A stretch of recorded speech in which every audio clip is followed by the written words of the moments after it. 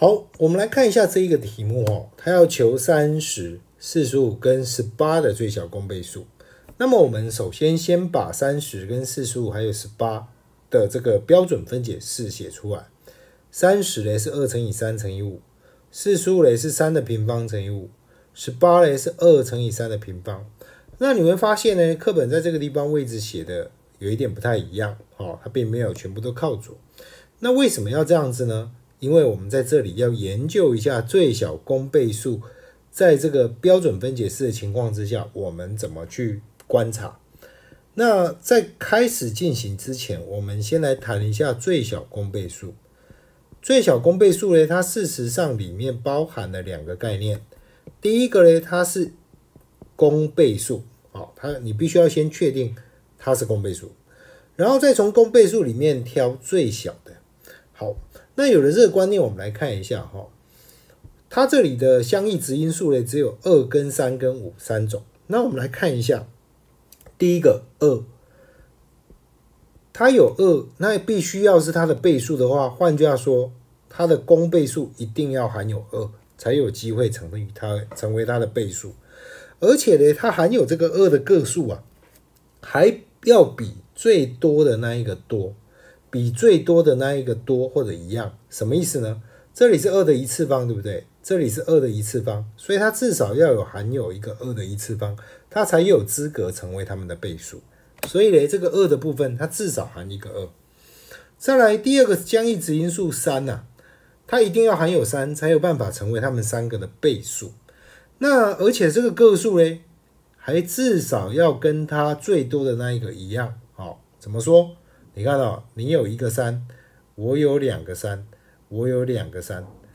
我如果没有两个以上的三的话，我没有办法成为你们的倍数。所以它至少要有两个的三，就跟就是要跟最多的那一个一样，哦，才能够成为它的倍数。再来，你有五，我也要有五，我才有资格成为你的倍数。那你的五有一个，你的五也是一个，因此我至少要一个。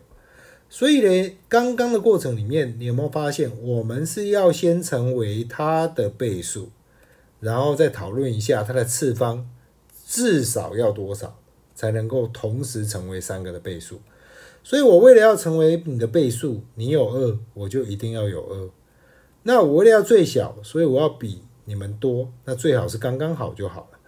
那你有三，我也要有三，我才有办法成为你的倍数。那你的次方呢？最多是二次方，换句话说，我最少要两次方以上才有资格成为你的倍数。你有五，我也要有五。那你的次方都是一次方，换句话说，我至少要有一次方才有资格成为你的倍数。所以我就知道嘞，最小公倍数嘞，就是二的一次方乘以三的平方乘以五。那么在找的过程里面呢，我们会发现我们有几个原则。第一个呢，所有的相异质因数都必须要有。所有的相异值因数都必须要有，因为它要是倍数嘛，所以它所有的相异值因数都必须要有，才有资格成为它的倍数啊。所有相异值因数都要有。那第二个呢？要有，那是要有几个呢？就是跟最多的一样哦，就是同于。最高次方，也就是跟最多的那一个一样，好，所以我们在这两个原则之下呢，我们就可以透过标准分解式，很快的找到它的最小公倍数。那在这里呢，上了国中以后啊，我们会用中括号来代表最小公倍数。换句话说，我把三十四十五、十八用中括号包起来，就代表我要找它的最小公倍数。它的最小公倍数的二的一次方乘以三的平方乘以五。好，这就是最小公倍数用标准分解式的找法。